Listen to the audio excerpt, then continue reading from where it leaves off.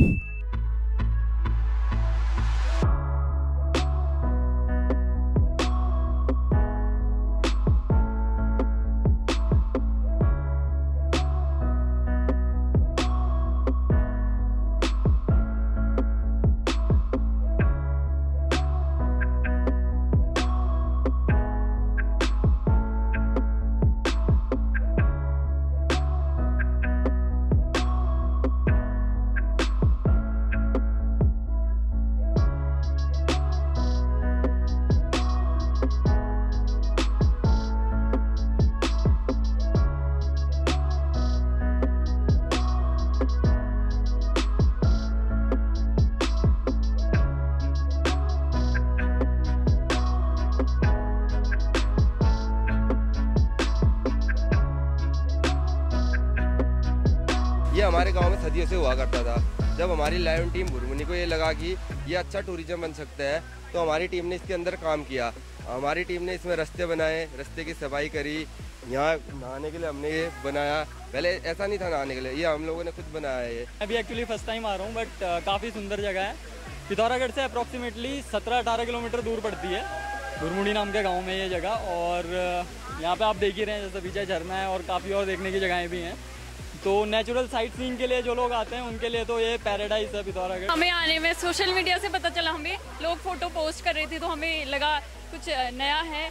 तो हम यहाँ पे आए फ्रेंड्स के साथ आए हमने बहुत इंजॉय किया। हर टाइप का एडवेंचर मिल जाते हैं हमें ऐसे रास्तों में जो ये ऊपर नीचे है ऐसे रास्तों में हमें यहाँ पहुँचने में कोई ज़्यादा मुश्किल नहीं हुई लेकिन अगर गवर्नमेंट इस तरफ़ अपना ध्यान आकर्षित करती है तो इस जगह को नया विकसित होने में प्रॉब्लम नहीं होगी बिल्कुल।